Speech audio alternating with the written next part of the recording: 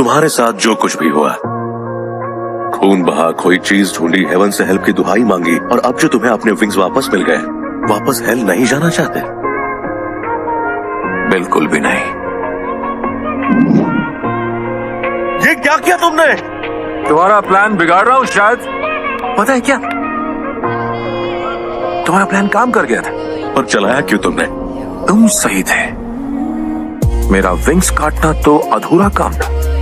ये घर लौटने का ज़रिया था। वो ज़रिया जो पूज्य डैडी जी की चुनी ज़िंदगी में मुझे वापस भेज सकता था। पर अब नहीं चाहिए मुझे, क्योंकि शायद मैंने अपनी बात ठीक से समझाई नहीं।